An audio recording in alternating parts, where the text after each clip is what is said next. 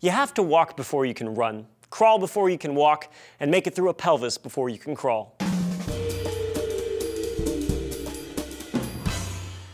Hello bipeds, Julian here for DNews. Compared to other animals, humans have a lot going for us. We're intelligent, we're long-lived, we have the internet.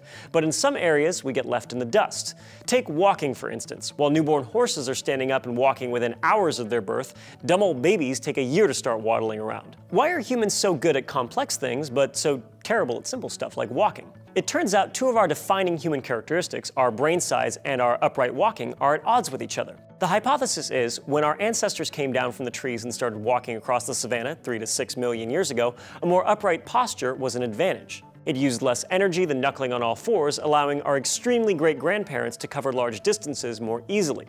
To support this upright stance, our hips had to change shape, and with this change in shape came a narrowing of the birth canal. According to Cal State Fullerton anthropologist John Bach, this is where our delayed ambulatory skills come from. Your brain has to be developed enough to control all your limbs before you can start walking. But this brain development makes your head bigger, and if your head is bigger, you can't get through the birth canal, and if you can't get through the birth canal, you don't get born. Not so smart with your big brain now, are you, you stuck genius baby?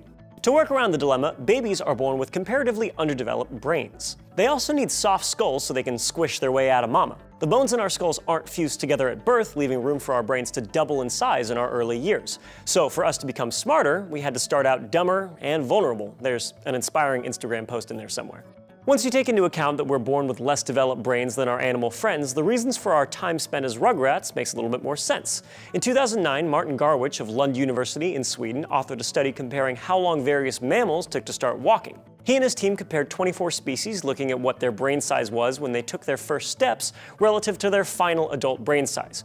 Garwicz formed a timeline predicting when a species would get off the ground, and, crucially, the timeline starts at conception, not birth. With conception as the starting point, humans began walking when they hit the same developmental milestones as other animals. For example, horses are walking in just a few hours, but that's because they spend up to a year in the womb and their brains are almost fully developed at birth. Garwicz also explored whether our bipedalism delays us compared to our quadruped pals, and found that it does have a small effect. The added complexity of heel-to-toe walking makes us hit our stride a little later. That characteristic, along with our less developed brains at birth, means we take baby steps towards taking baby steps. So now you know why humans take a long time to walk, but what about some other interesting factoids? For awesome and insightful videos about humans, animals, and more, check out the work of our friends over at Did You Know?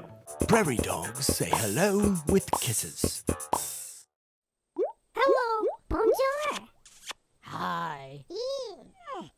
So we can walk upright eventually like everyone else, except snakes, sorry snakes, but we can never walk up walls like spiders. To learn why you can never be Spider-Man and ruin your whole day, check out Trace's video here.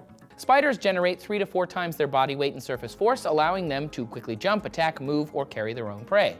The problem is, the larger some body is, the less able they are of taking advantage of van der Waals forces. This video was inspired by a viewer question on Facebook. Thanks, Jorge. If you'd like to ask us a question, there are tons of ways to ask. You can do it down in the comments or on our Reddit at r slash dnews. Subscribe for more, and I will see you next time on DNews.